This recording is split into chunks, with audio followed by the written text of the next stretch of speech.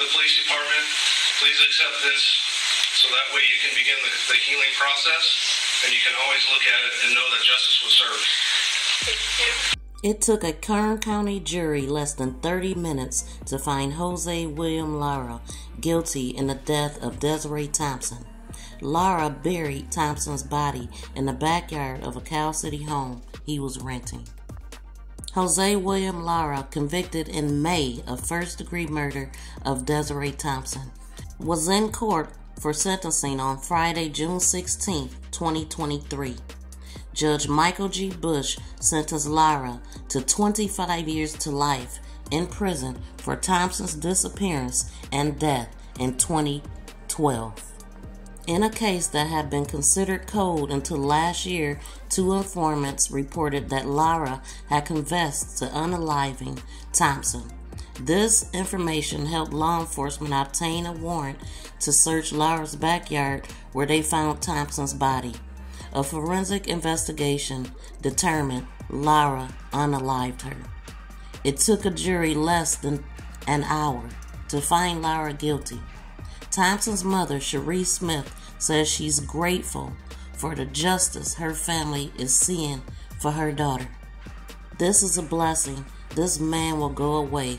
He'll rot the rest of his life and not be able to hurt anybody else. And that's the whole point of getting this justice for her, as well as justice for other people, that this man can't go out there and hurt anybody else.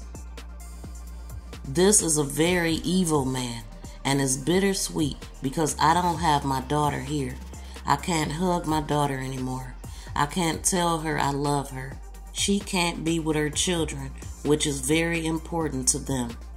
Smith went on to say she and her family remember and honor Desiree every day, and Smith believes her daughter is with her now. Smith says she will not stop helping other people go through situations similar to what she's gone through. At the sentencing hearing, Judge Bush explained how he came to his decision.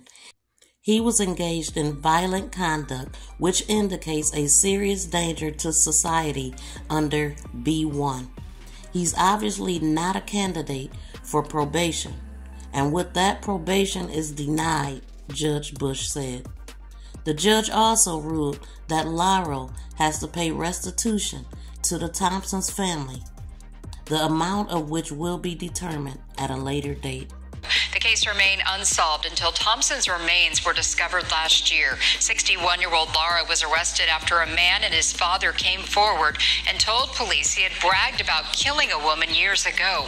Chief Hightower says the department never stopped looking for Desiree and her killer. This right here means everything. I can't bring my daughter back, but this will go right up there next to her. And, um, this shows that never to give up. Don't give up hope. Don't give up faith. Um, God answered all my prayers in one day. Jose Lara was sentenced earlier this month to 25 years to life in prison. Stay tuned to MTGV Crime Podcast as we interview with Cherie Smith, the mother of Desiree Thompson.